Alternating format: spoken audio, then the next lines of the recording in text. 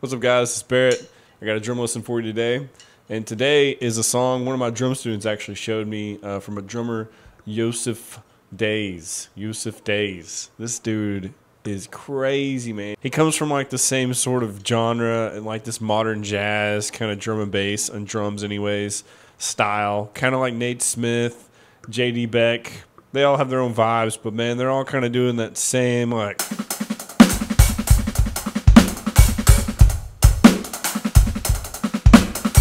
you know, crazy sticking, sort of weird modern jazz that's so far away from this, it's crazy, but it's still considered jazz, which is funny, you know? I think that's interesting. So today we're going to learn the groove from the song Istanbul. Let's check it out. So I'm not going to play it at the same tempo as he does because uh, I can't.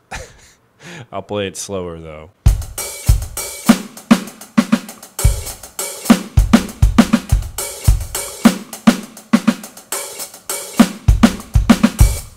So let's break that one down. Essentially, you're doing threes on the hat. Uh, what I like to call open hi hat threes. So you play three notes. You kind of get used to playing threes.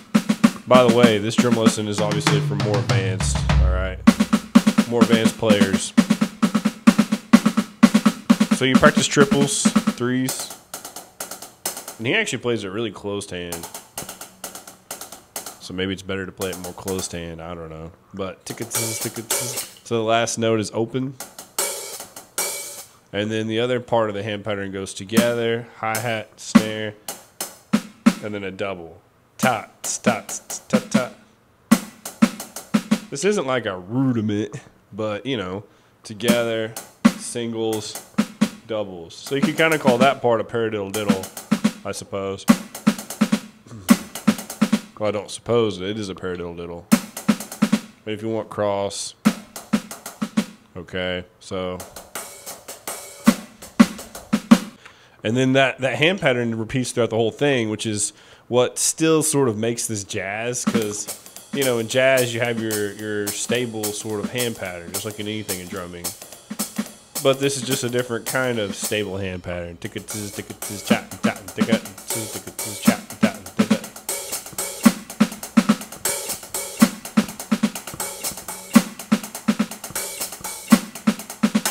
So it's essentially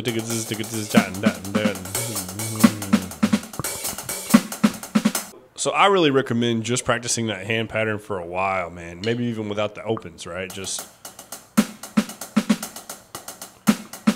just over and again, over and over again, you know. And but when you are ready to put the basses and the open hi hats in there, which is the feet, right? Uh, you put a bass on the first two threes, boom, boom. So I mean the first downbeat of each three, one the and, two and right? Notice I'm taking the opens out because I'm trying to do it one foot at a time, but the open would be obviously on the third, like that. Then pot, dots, that's the main theme, really. Right? So,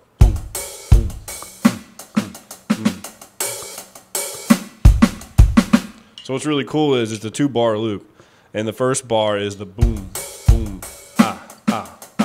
but the second bar, he doesn't play a bass drum on one, which is really cool actually. It just starts out with the threes again. And then ta, ba, ba, ba, ta, ba, ba, ba. And sometimes he does like a double right there. I guess he's copying the. That would be my guess. So sometimes he does he does different stuff, but essentially the main two loop pattern is